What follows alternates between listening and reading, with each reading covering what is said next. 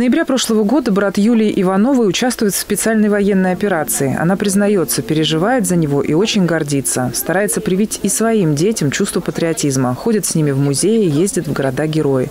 И, конечно, помогает фронту. Поэтому сейчас она здесь, на ярмарке. Продает варенье, выпечку и цветы из бумаги. Все сделано собственноручно. Там ребята, которые поставляли, знаете, свои семьи, своих э, родственников и поехали защищать нашу родину. Не спрятались, не убежали, как некоторые. Поэтому мы чем можем, тем и помогаем. Такая ярмарка проходит впервые. Ее участниками стали жители Трехгорки, ученики школы «Флагман» и их родителей.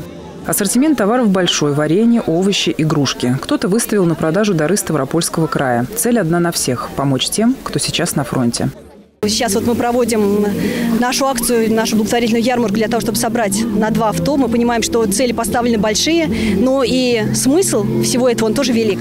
Помочь приобрести две машины для саперов и раненых хочет Илья Миргородский. Еще в детстве он увлекался военными фильмами, изучал историю страны, а теперь учится в кадетском классе. Признается, мечтает стать следователем.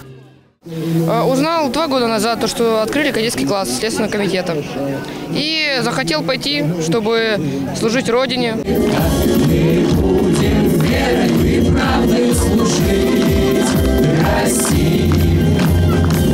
Собирали не только деньги, но и продовольственный обоз. Продукты, теплые вещи, лекарства будут в ближайшее время переданы в зону специальной военной операции. Василиса Ивашкина, Карина Еряшева, Артем Ломоносов, телекомпания «Одинцова».